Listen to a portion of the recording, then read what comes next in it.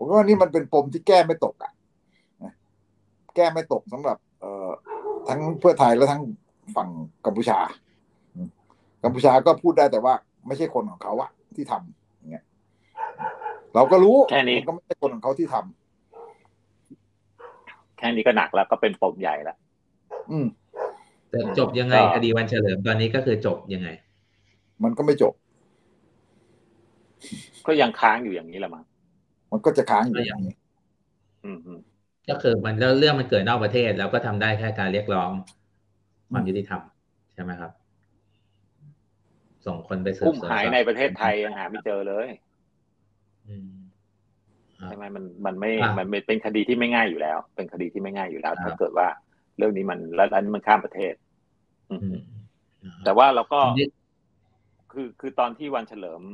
หายเนี่ย มันก็เป็นวันที่ ขบวนผู้ลี้ภัยในกัมพูชามันเกือบออกไปเกือบหมดแล้วอืมแต่มันก็เกิดอาการแบบวางใจว่าจะไม่เกิดอะไรขึ้นอืมไม่คิดว่าจะเกิด ใช่อืมอืมแต่ว่าในทางในทางสิทธิ์แล้วเราก็เห็นใจพี่สาวแหละ ก็เขาก็พยายามจะหาคำตอบและจังหวะที่คุณเซ็นมาใช่ไหมแต่ว่ามันมันเป็น วันนี้ก็ธรรมดาแหละ ที่จะจะโดนบล็อกใช่ไหมเพราะมันเป็นที่ส่วนตัวเขาอะ